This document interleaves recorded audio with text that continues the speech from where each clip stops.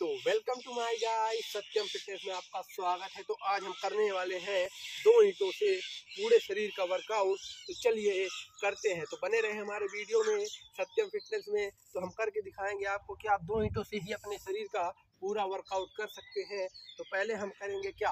पहले हम करेंगे दोस्तों बाइसेप की एक्सरसाइज बाइसेप की एक्सरसाइज के लिए आपको दोनों ईंटों को ऐसे हाथों में ले लेना है और धीरे धीरे करके परफॉर्म करना है। आप तीन सेट मार सकते हैं बारह रेपटेशन के, जितने से हो सके आप मार सकते हैं। फिर हम इसी से करेंगे अपने शोल्डर का वर्कआउट तो शोल्डर का वर्कआउट करने के लिए आपको करना क्या है? आपको दोनों ईंटों को ऐसे ले लेना है और फिर कंधे के समय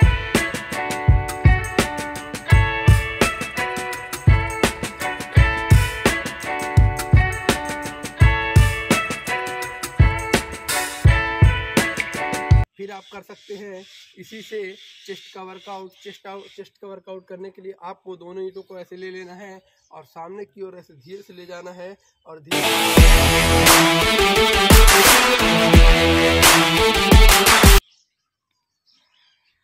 फिर आप इन्हीं दोनों ईंटों से अपने बैक का भी वर्कआउट कर सकते हो, जिसे आप ऐसे थोड़े से नीचे आ जाना है और इस तरह का परफॉर्म करना है।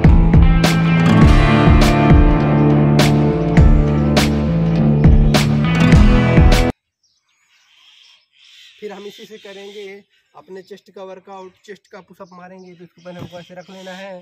और इसके बाद इन, इनमें अपने हाथों को ऐसे रख के और नीचे की ओर ऐसे प्रेस करना है। पूरा नीचे जाना है, पूरा ऊपर आना है।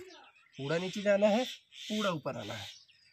फिर इसके बाद आपको इसी से अपना लेग का वर्कआउट करना है। लेग के वर्कआउट करने के लिए आपको दोनों ईंटों को ऐसे ले लेना है और कुछ इस तरह का परफॉर्म करना है।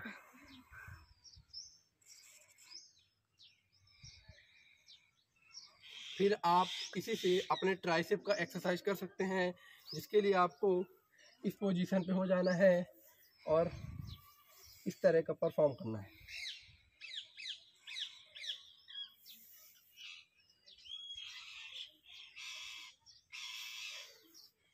फिर आपको इसी से चेस्ट की और वर्कआउट करने हैं जिसमें आपको